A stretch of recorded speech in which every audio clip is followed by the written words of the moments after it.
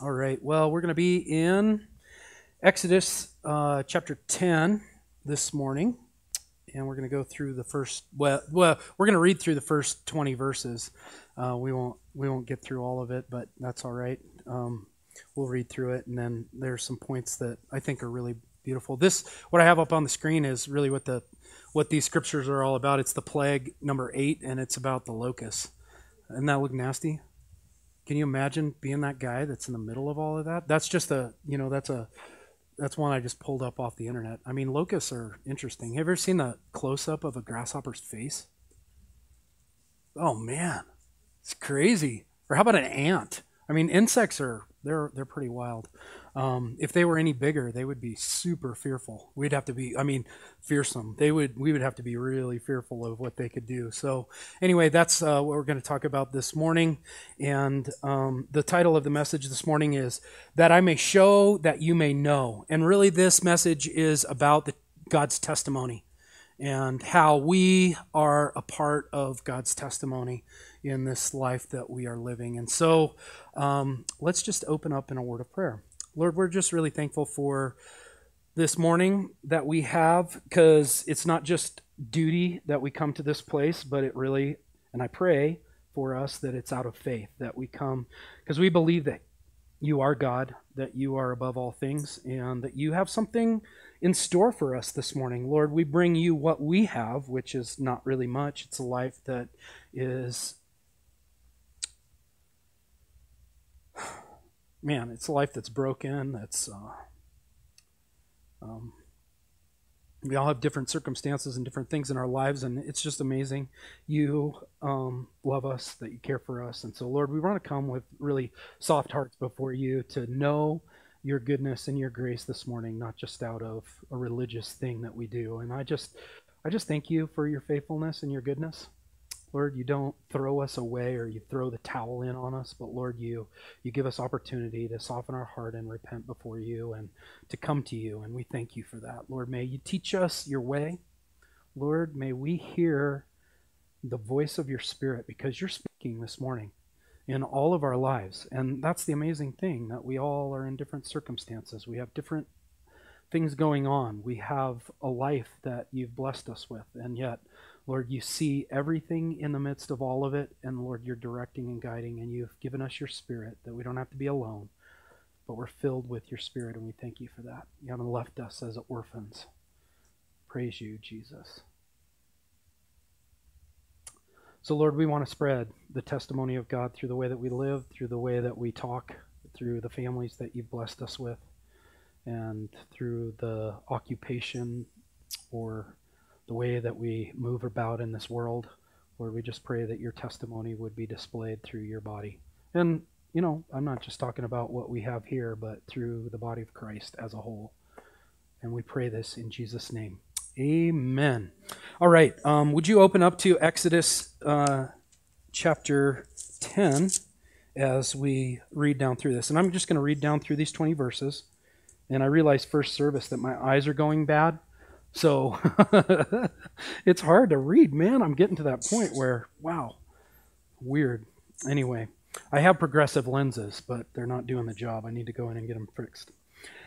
Verse 1 says, Now the Lord said to Moses, Go in to Pharaoh, for I have hardened his heart and the hearts of his servants, that I may show these signs of mine before him, and that you may tell in the hearing of your son and your son's son the mighty things I have done in Egypt, and my signs which I have done among them, that you may know that I am the Lord.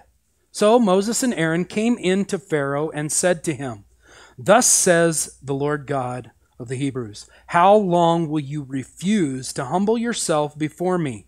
Let my people go, that they may serve me. Or else, if you refuse to let my people go, before tomorrow I will bring locusts into your territory.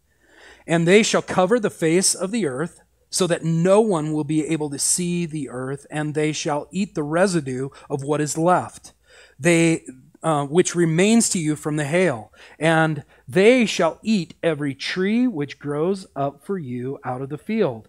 They shall fill your houses, the houses of your servants, and the houses of all the Egyptians, which neither your fathers nor your father's father have seen, since the day that they were on the earth to this day.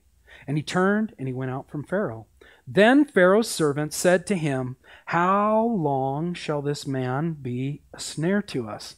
Let the men go, that they may serve the Lord their God. Do you not yet know that Egypt is destroyed? So Moses and Aaron were brought again to Pharaoh, and he said to them, Go serve the Lord your God. Who are the ones that are going? And Moses said, We will go with our young and our old, with our sons and our daughters, with our flocks and our herds we will go, for we must hold a feast to the Lord. Then he said to them, The Lord had better be with you when I let you and your little ones go. Beware, for evil is ahead of you. Now, not so. go now, you who are men, and serve the Lord, for that is what you desired. And then they were driven out from Pharaoh's presence. Then the Lord said to Moses, Stretch out your hand over the land of Egypt for the locusts, that they may come upon the land of Egypt and eat every herb of the land, all that the hail has left. So Moses stretched out his rod over the land of Egypt, and the Lord brought an east wind on the land all that day and all that night. When it was morning, the east wind brought the locusts. And the locusts went up over all the land of Egypt and rested on all the territory of Egypt. They were very severe. Previously, there had been no such locusts as they, uh, as they. Not nor shall there be such after them. For they covered the face of the whole earth so that the land was darkened. And they ate every herb of the land and all the fruit of the trees which the hail had left. So there remained nothing green on the trees, nor on the plants of the field throughout all the land of Egypt. Then Pharaoh called for Moses and Aaron in haste and said, I have sinned against the Lord your God and against you. Now, therefore, please forgive my sin only this once, and entreat the Lord your God that he may take away from me this death only. So he went out from Pharaoh and entreated the Lord. And the Lord turned a very strong west wind, which took the locusts away and blew them into the sea. There remained not one locust in all the territory of Egypt. But the Lord hardened Pharaoh's heart, and he did not let the children of Israel go. I mean, this is an amazing story, right? I mean, this is eight of all the other plagues that we've already read about. Uh, I just can't imagine being in this position, and I can't imagine being a leader over, you know, this actual plague or this time period. Uh, you know, Pharaoh is in the midst of a very difficult and a trying time. Um, you know, we have a blessing to be able to look back on this and really see this for what it is, and we can come up with all of our ideas. But can you imagine being the middle of that? In the middle of what God is doing in the in the midst of Egypt. I mean, it really is amazing. This has been chaos for this nation, and so um, we see here that God gives us a real purpose. If you look there in verse one, it says, "God says that I may show these signs of mine before Him." You know, He wanted to be able to show the signs and then it says in the last part of verse 2, it says, that you may know that I am the Lord. In a nutshell, God is saying, This is my testimony. We talk about our testimonies, right? And we talk about how we need to share our testimony. We need to share about that. But you know what? The reality is, the testimony that we have, it's nothing apart from the testimony of God, isn't it? We're sharing, actually, we, we make it all about ourselves and we make it about the things that we have done or the things that we've said or the things about our life, but it really is about what God has done. It's about how He has done great things in our life, that He's freed us. I mean, we all have a testimony of how God has worked, how he's drawn us into relationship with him. And so right here in these verses, God is, is, is concerned. He's, he's talking. This is all about my testimony. And you know, the reality is this is why we're on the, the earth, to demonstrate what God can do, what he has done in a relatable way to the people that are around us. Just in the same way, God intervened in this situation to show Pharaoh, the Egyptians, and the Jews what he could actually do. Not only that, but it echoes throughout all of human history. This is just one event where God has done amazing, mighty things. And this may be, I mean, this is one of those, uh, you know, those central places in the Bible where we see this, this uh, supernatural testimony of God in the natural world around us. And so God has given this and He has given it to us. We can look back on it and we can use this in a lot of different ways in our own life. We can talk about it, we can point to it, but we can also in our own lives, we can look at it and we can say, wow, if God did that back then, He's the same God. Yesterday, today, and forever. He can do those kinds of things even now.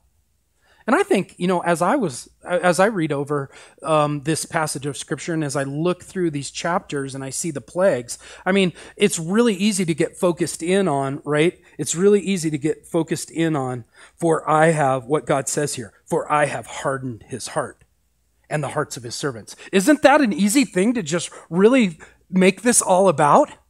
And we do that and we question, well, how in the world can God do that? How can he harden man's heart? Why would he do that?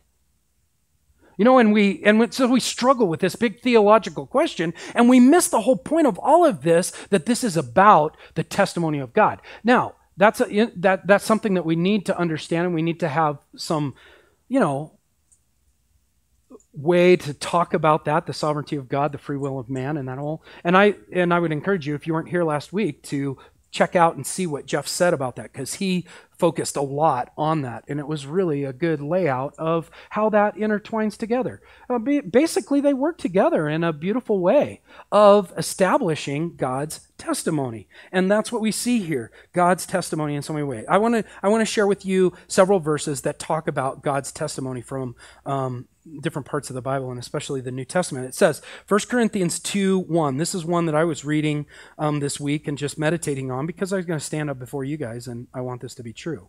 And I, brethren, when I came to you, did not come with excellency of speech or of wisdom declaring to you the testimony of God. See, that was what Paul's life was all about. It was about the testimony of God. He gave himself to declare that in every situation. And I'm really blessed and thankful, and you are too, we all are, that we have, you know, the book of Acts that shows us. We have the letters that he wrote that show us how this isn't just you know this isn't just words on a page but we can see that that that was paul's heart. It was about the testimony of god. He he was everywhere he went he was declaring the testimony of god Here's another verse that talks about the testimony of God. Therefore, do not be ashamed of the testimony of our Lord, nor of me, his prisoner, but share with me in the suffering for the gospel according to the power of God. I mean, this is a really great encouragement for us. We should be walking out and living out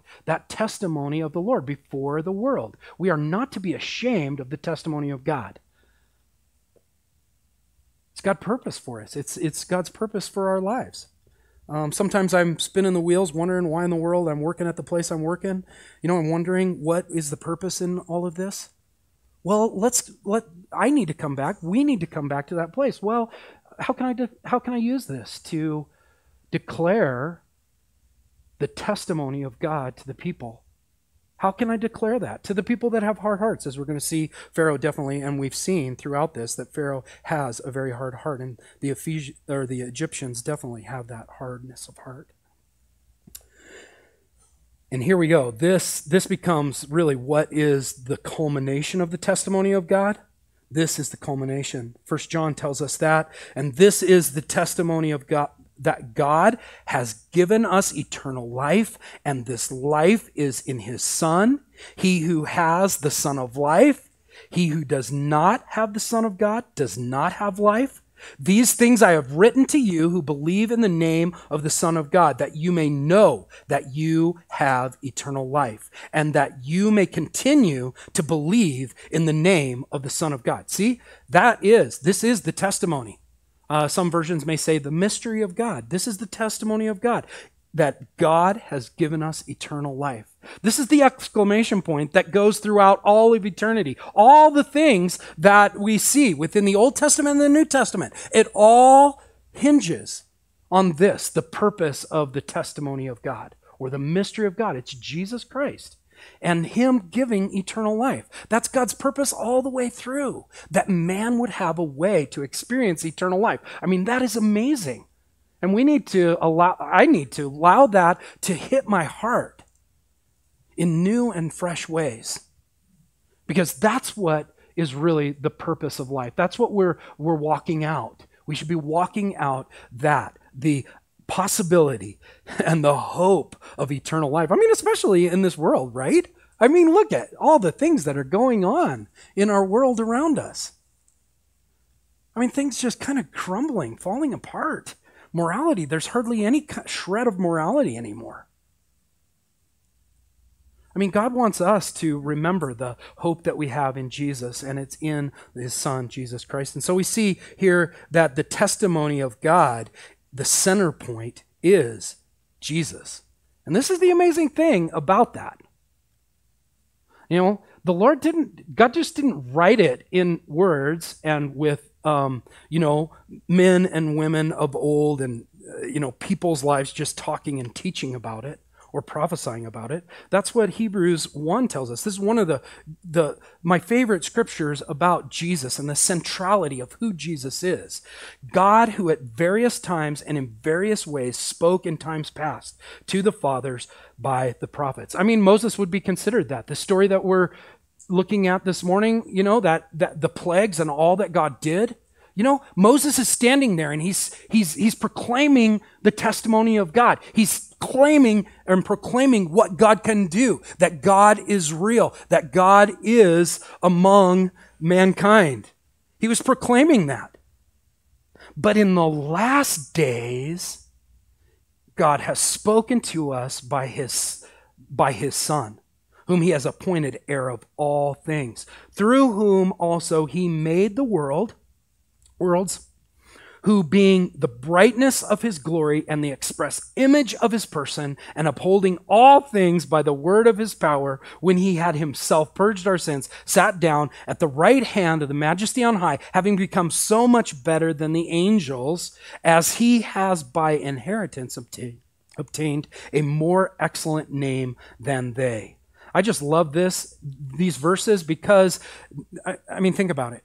God just didn't teach about it or talk about it, but he demonstrated it through himself as he, I mean, the incarnation is amazing, isn't it? Through himself, he demonstrated his character, his nature. Look at what it says there in Hebrews. It says that he is the express image of his person and upholding all things by the word of his power. What is the testimony of God? Well, it's the testimony of Jesus through the Gospels. We see it lived out in real human ways, which I think is amazing. And I'm so thankful for that. That's why, you know, the Gospels are so important to us because that testimony of God was poured out through Jesus in the likeness of man and the humility of God coming out through that. And that is an amazing picture for us. And we should really, ba- I mean, when we're wondering, how in the world do it? What do I do in this circumstance, this situation? Obviously, you know, through the years, there's been what would Jesus do, but that is really a great. That's a great thing to think about. Well, what would Jesus do in this situation? How many times? When have you stopped and really thought about that in a hard situation? Well, I wonder, how, how would Jesus have responded to this? We see in Scripture how he responded to people. And, that, and it's not just Jesus' in humanness, but it's Jesus in his godness, his expression of who God is, and what God's heart is. And that is the amazing thing about what we have there. It is a beautiful gift, and it should sow beautiful fruit in our lives and create beautiful fruit in our lives. This is, um, you know, in Revelation, this about the testimony of Jesus. Look at what this says. It says uh, in Revelation 19:10, it says, "And I fell at his feet to worship him, but he said to me, See that you do not do that. I am your fellow servant." and of your brethren who have the testimony of Jesus. Worship God, for the testimony of Jesus is the spirit of prophecy. At the end of Scripture, we, uh, at the end of the Bible, you know, the last book that's given, here we have, here we have a really amazing description of what prophecy really is. See prophecy and the things and and and we can take this back. You know moses at um, all the all the things that he says you know he shows up before pharaoh god tells him what to do. He he actually uh, tells them what is going to happen the next day. There's gonna it's prophecy. He's prophesying the future. In that prophecy we can see this verse come to life. It is the testimony of jesus see jesus' testimony he is the point and he is the central place of God's testimony. Everything points to him. Everything falls into, you know, the world says, you know, and we say, oftentimes we say, oh man, the world is just falling apart. No, the reality is the world is falling together into his plan. It's falling together just how he has said. And we need to get excited about that. You know, obviously, there is the fact that people are in, um, you know, hardness of heart and all of those things, and we need to pray. And we need that's why the testimony of Jesus needs to be so important in our lives. But really, when we look at prophecy, the breath or the life of prophecy is the, is the testimony of Jesus. It's all about Jesus. Every all of it, all of the prophecy. And so we can look these plagues, all of this that's going on, the we could see, you know, God is calling them into the promised land. The Jews didn't know what that was, yet it's prophesied that they're going to go and they're going to do these things and they're going to have a place flowing with milk and honey. All of that it's all about Jesus. It's all about deliverance. It's a picture of what Jesus ultimately is going to do and what God is going to do down through the ages. And so it is a it, it is a beautiful thing when we see that when we understand that God is working towards that that revelation in everybody's heart, in everybody's life. The next verses we want to look at are down in verse 7. Um, you know, it says there that the Pharaoh's servants and uh, then Pharaoh's servants said to him, Oh, actually, we want to talk about um, uh, um, verse 3, actually. How long will you refuse to humble yourself before me? Let my people go that they may serve me. See, this is the heart. So we have the testimony of, G- of God, and um, that that is so important to this whole situation. But also we see the state of Pharaoh's heart. And I don't know, as we've been going through this, and as you've read before, I mean, isn't it amazing how hard Pharaoh's heart is? After all of these things, he doesn't want to let go. He doesn't want to give up. He wants to hold on to what he has.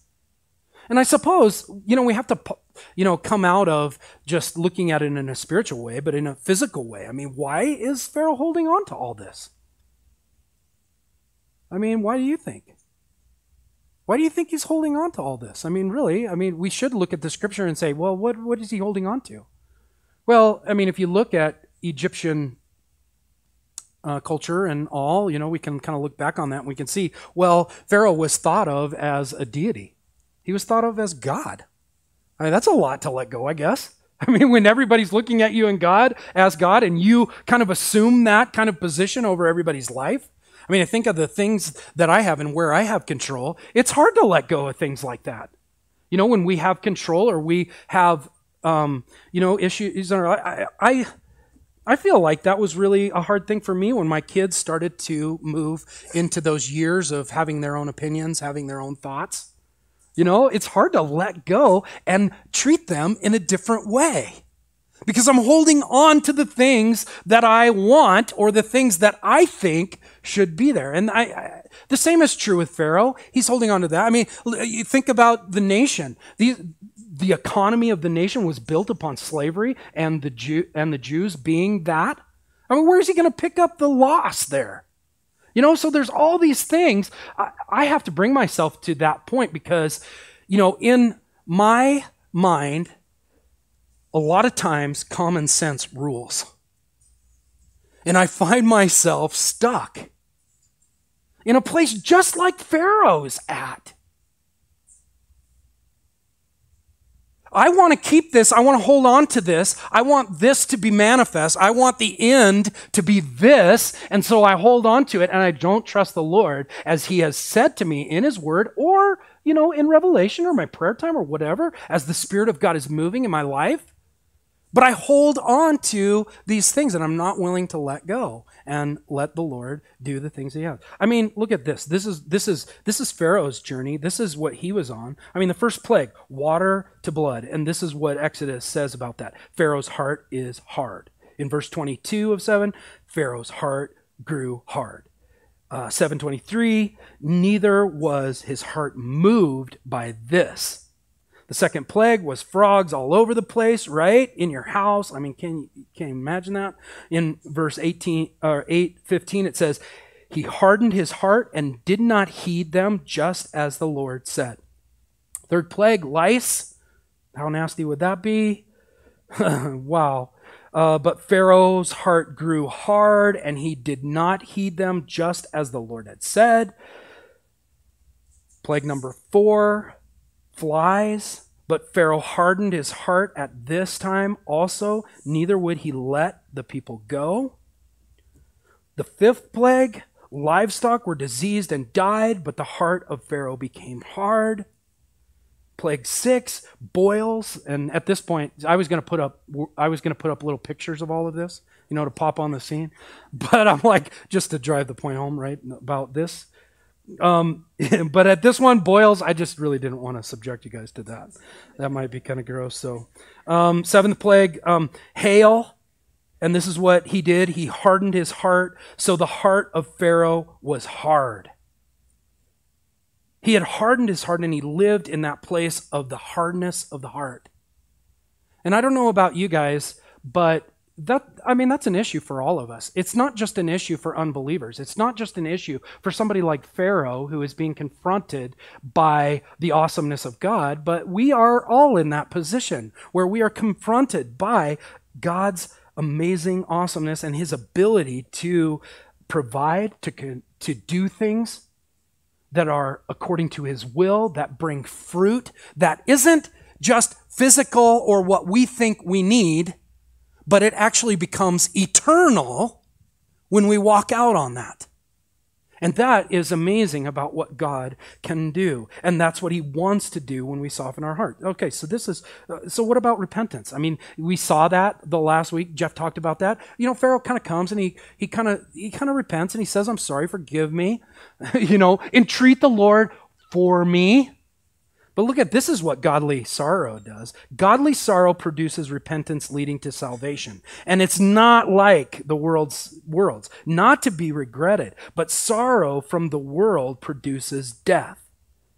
For observe this very thing that you sorrowed in a godly manner what diligence it produced in you, what clearing of yourselves, what indignation, what fear, what vehement desire, what zeal, what vindication. In all these things, you proved yourself to be clear in this matter. See, godly sorrow produces something. It doesn't just produce tears or words. It produces action. And it is, it's something that happens over a period of time, often, you know, where we're able to walk this out. See, Pharaoh goes right back to what he was doing before. He goes back to saying, no, you can't go. He says you can go, prays for forgiveness, you know, entreat, has, has Moses entreat the Lord for him. I mean, what is that? That's not true repentance. What true repentance is, is falling on your face, admitting your responsibility, saying, I thought I was God, but I'm not, you know? Forgive me. That's what, and, and recognizing what God has already said. See, that's what true repentance is. And then it produces fruit and action in our lives. Uh, you know, I don't know, in your own life. I mean, probably we have all done it. We say, forgive me for this, and then we kind of just go on in the same thing. Or, or, you know, everything's okay for a while, and then the same thing repeats itself over and over again. You know, and then we do it again and again. You know, it's hard, isn't it, when we're dealing with people? When we're dealing with a will or a hardness of heart, it's really difficult to understand. We need to be able to see that process and the fruit of repentance because there are fruits there. There is a diligence that it produces of clearing yourself.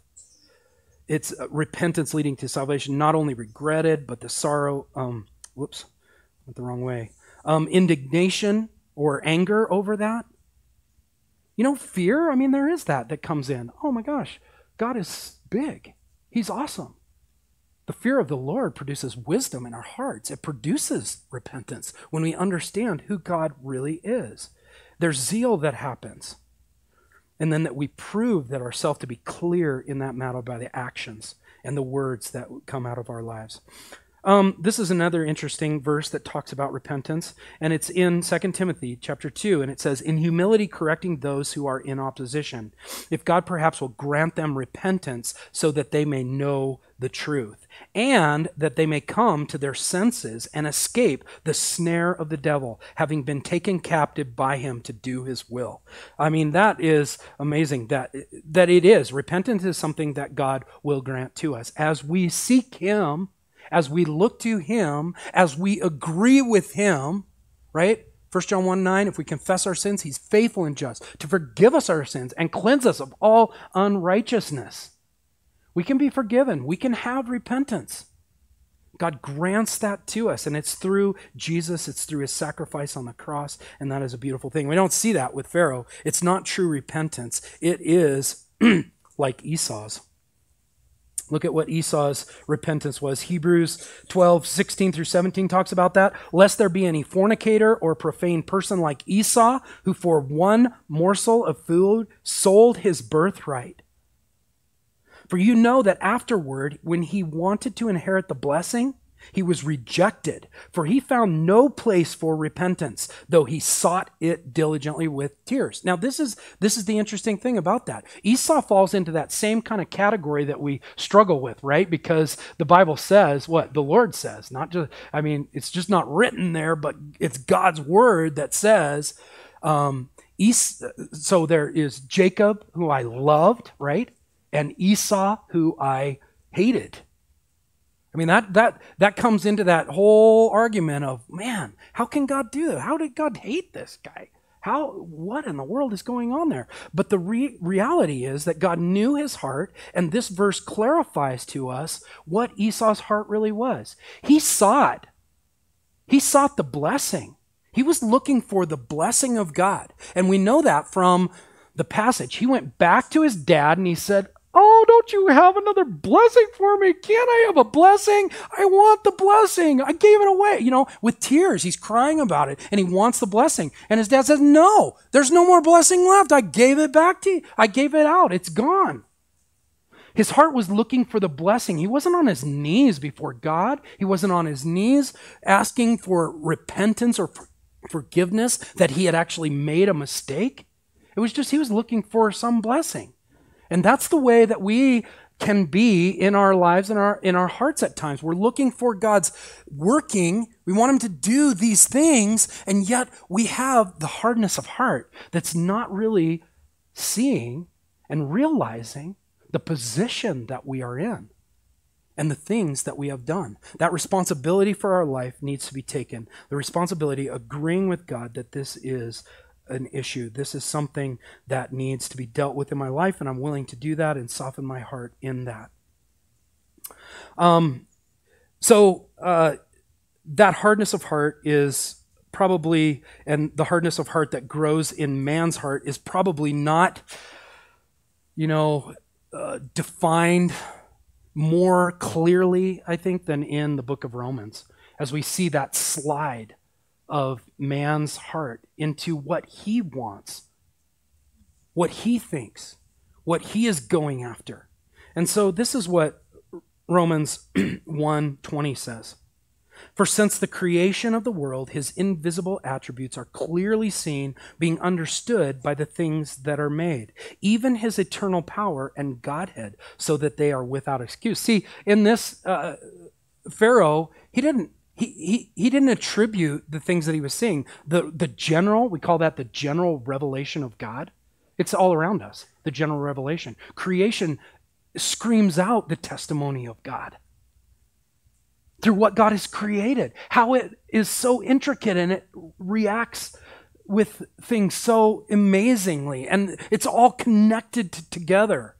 There's a creator behind all that. And what the Egyptians did, they just, you know, started to name off gods and make gods for all of these different things that they thought were uh, devastating, that were uh, amazing, that they couldn't explain. They all just became gods. They were very polytheistic. They attributed, and so Pharaoh attributed all of the things of nature, all the things that God said, all of that general revelation, he, the, he attributed it to man and to man's ideas and man's thinking, not seeing the eternal power of God within that. And because of that general re- revelation, that's one thing that will be condemnation in the end of time not attributing those amazing, wonderful things to the Lord, not attributing to God. So we see that slide of that heart in um, Romans. These are verses in Romans 1. And I would encourage you guys, if you're interested in that, because it's really great to read through Romans 1 and just pray and to see, you know, then you can see, you know, some of the dif- difficulties that we face in our culture and in our society right now. It's because this is the, the devolution of our society in Romans 1. Look at what it says here. In 24, God gave them up. In 26, it says God gave them up. In 28, it says God gave them over. And this is the mechanism in verse 18 of chapter 1. This is the mechanism that makes that, that, that, that, that really, I don't know how to say it, how, how it makes God respond. As, as man does these things and wills these things and wants these things because they are, they have in their heart, um, verse 18, they suppress the truth of God in unrighteousness. Pressing down, pushing, it's an active word. Pressing down, pushing the things that would pop up in their life that would display who God is, the thoughts that come into the mind, they suppress it and push it down. Think about that in your own life. Think about it in your own life. How do you suppress the truth of God? Because we do as Christians as well. I, you know, we're not perfect, are we? I can give you lots of examples from my life where I have suppressed God's truth. When He has been saying something to me through His Word, through the revelation of His Spirit, and yet I have what? leaned on my own understanding? Or I've justified out of it because I think that I have a better way? Or I just have this common sense and I'm like going to go with common sense. I haven't even given the Lord a chance to actually do or prove what he says because I've suppressed his truth. I've actively said, no, I want to do this. I'm so thankful for the Word of God because it's living and powerful and it is a discerner of the thoughts and the intents of the heart. It allows us. The Spirit of God takes the Word of God, makes it come alive in our hearts and our lives so that it's just not a bunch of rules and regulations or words written on a page, but it is life. And that's what the Word of God does as we give it place in our hearts and our lives. And it helps us to not suppress the truth, but it opens up the truth of God to us that we can walk in that truth. Um, because the reality is, we can't serve two masters. They were called to serve the Lord. They were going to go out of Egypt and they were going to serve the Lord. Um, that's what that's what um, God wanted, and that's what God wants from us. That we would also have that same heart to serve the Lord. No servant. This is what uh, Jesus says in um, Luke 16. No servant can serve two masters, for either he will hate the one and love the other, or else he will be loyal to the one and despise the other. You cannot serve God and mammon, and that's exactly where the nation of Israel was. You know, they were in a place where they were serving, they were slaves, And in reality, they couldn't do the things that God wanted them to do. They couldn't sacrifice to him. That was that was um, you know an abomination to the Egyptians. You know, they, they, they were limited in so many ways, and God wanted to free them out to serve the Lord. And the same thing is true with us. That's what God wants to do in our lives. He wants to free us so that we can serve Him, and so that the, the life that we live becomes the testimony of God through something living that people can see, that they can touch, that they can hear, and that they can know that God is real. This is what God says. He says, I beseech you, therefore, brethren, by the mercies of God, that you present your bodies a living sacrifice, holy, acceptable to God, which is your reasonable service. That's Romans 12, 1 through 2. Uh, and do not be conformed to this world, but be transformed by the renewing of your mind, that you may prove what is that good and acceptable, perfect will of God, or that you can prove the testimony of God that He's been saying throughout the ages. That you would be able to do that. And he, uh, he calls us to serve Him, to worship Him in spirit and in truth. And that should be the mode and the operation of our lives. So as we um, as we look at this passage, um, I just want to jump down to uh, verse seven. We're going to end with verse seven because um, I, this is a point that I think is really good for us. Then Pharaoh's servants said to him, "How long shall this man be a snare to us? Let the men go, that they may serve the Lord their God. Do you not yet know that Egypt is destroyed?" I mean, Pharaoh wasn't getting it, but his servants are getting it. They're saying, What are you doing? Why don't you let them go? Why are you hanging on to all of this? Don't you see that this is destroying this whole nation?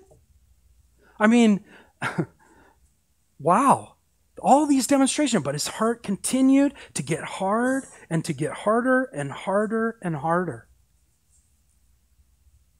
That hardness of heart can be something that we have as well. And we need to be really careful of that because you know what? The Egyptians were found in, really, they, they, they talk about, they say, we're snared, we're trapped. They're trapped, and that's what that word means snared, to be trapped. They're trapped between a rock and a hard place, right?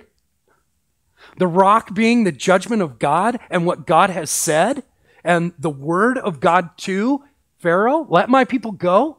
And yet they're trapped between that judgment and the reality of the hardness of their heart. They're just trapped in that spot. And that's the way we can get all men, all people, all women, we can get in that place where we are trapped between a rock and a hard place. We're trapped between what we know is right and the hardness of our heart. And so the question today that I just want to ask, and I want to ask myself that is this as well. You know, why don't I let go? Why not just let go in that situation? Why not let go of these things that are really going to just destroy relationship, destroy situation, destroy families. You know, why do I hold on to that? Why do I let that become something that is really important to me? Um, I just have an example of that that I want to share. Just yesterday, I was, um, you know, I was studying for this, and uh, you know, I came downstairs, and um, Brenda was talking to me about going away for three three days to go and visit her mom and dad right? And many of you know them. And she just really felt like she needs to go. And we've talked about it before. And I'm like, yeah, go, go, go. But then I said something like, oh, I, I don't even remember what I said. What did I say? I don't even remember what I said. I said something. I said something like, I don't like it when you go or something like that, right? I mean, it's three days and it's three lonely days. I'm all by myself, right? So, um, you know, and I, I said that just to let her, I don't know why I said it, okay? So then I go get my hair cut, right? I go get my hair cut, and I'm I'm getting my hair cut, and I don't really have much to cut off, and and I'm I'm doing that, and I say, yeah, I want to fade a two up the side, and um, yeah, what am I going to do at the top? I have no idea what to do at the top because there's not really. Is there a top? You know, that's what I'm thinking. And um, the lady looks at me, says, well, why don't you just shave it all off? And I'm like, no. And it made me think, well, why in the world, as I was driving home, I was thinking, why do I hold on to that? I mean, yeah, I, I wouldn't have had to pay 20 bucks for this. I could just do it myself, right? It's a lot easier. But why am I holding on to that? Because I was in some way. I mean, I know that's something stupid, but, um, you know, and it's not really, it's very in, inconsequential. But why do I hold on to these things? So I get home and I walk into the house and Brenda's been crying and I could tell. And I asked her, I said, well, what's going on? And she didn't really want to tell me. And then we talked about it. And it was that I had said that I really don't, she don't feel like I want her to go and she wants to go. And so I'm like, oh my gosh. I, you know, and I knew at the time that I probably shouldn't say that because I know her. I love her. You know? And I know those things. I, I, I know how to push her buttons. I know how to manipulate or whatever. You know, we do that with people that we're really, that we know very well. But I had really hurt her by the hardness of my own heart. You know, I was concerned about myself, concerned, silly, right? I mean, it doesn't really matter. Three days, that's, I mean, I've gone for a long time. I've gone for three weeks on mission trips. You know, we need the Lord to give us discernment in those kinds of things because those are the things that become foundational in the way our heart is. Are we soft to what the Lord is saying? Are we ready to respond to God's will? Are we able to declare his testimony in any situation by the way that we're living, by the way that we're speaking, by the things that we do, the things that we're thinking? I mean, are, are we able to do that? And it comes back to those things that we think, oh, well, that's not really a big deal. Doesn't really matter if I think that. You know, because the other thing that I did in that situation is I started to justify, well, you know, I, I say that, that I don't want you to go because I love you so much, right? I end up, it just becomes a justification. I mean, I do. I mean, that's true. I do love her. But is that a justification for my selfishness and to bring a guilt trip on her? I mean, these things are tricky, aren't they? Think about your life. Think about the things that you hold on to. Think about what you don't want to let go. Think about how you talk about it. Think about what people see. Think about what your kids see. You know, how you deal with things, how you and your wife deal with things. You know, these things, the hardness of heart comes out in all kinds of different ways. We need to come to that place where we are willing to just let go. So that that destruction that can come and that will come eventually in our hardness. In some way, in some form, it's gonna come. We have a whole we have a whole Bible that, that shows all kinds of paths how that has happened. This particular time, the destruction is like this. I forgot to talk about this last service, but did you know, speaking of locusts, and I wrote this with red pen on purple paper. paper. How stupid was that? I can't even see this. So, anyway, a swarm of locusts the size of New York City. It eats in a day. Okay, so New York City is 302 square miles, just the city. Okay, so that's 302. Okay, these locusts, they covered the whole nation of Egypt. I don't know at the time what it, what it was. It was big. It was a big nation at the time probably. I don't know. I didn't look that up. So, but I'm sure that it was bigger than 302 uh, square miles. Okay, they eat. They eat that amount of locusts in one day. Eat the amount of food for people that live in the state of New York and the state of California. That's how much they eat in one day. They consume as much I don't know how many, I should have looked that up too. Um, how many people are in New York, the state of New York, and in California? That would have been good. You can look it up. I mean, that is amazing. I mean, talk about devastation and destruction. Wow. This plague was really, I mean, it was really bad. This was really bad because it destroyed everything that was left. I just can't believe that. Here's another here's another thought on that that uh, the Grand Valley is about 100 and I mean 30 miles down the Grand Valley by five miles. It's long and you know kind of uh, long and, and not very wide. Um, it's 150 square miles. So if you double the Grand Valley, that would be the size of New York City. So, I mean, I just can't even believe that. Locusts just in the Grand Valley here, twice the, Grand, the size of the Grand Valley, would eat that much. I just can't even imagine. That is just amazing. And the thing about locusts is it just doesn't, it just wasn't a problem. I mean, they ate all the crops, right, that they were going to store up, that they were going to live on. But if you if you if you think about that in relationship to the destruction of sin, there's a lot of similarities, and I will leave that to you, because all of these plagues, you can you can you can think about them in terms of sin, and what sin really does. I mean, I mean the frogs. Sin is slippery, slimy. It's hard to pin down sometimes really hard to get to. You know, it, it, it, it affects you in so many different ways. So you can go through all the plagues and you can look at that and just that they are like a manifestation even of what sin and the destruction that sin reaps, reaps on lives. So.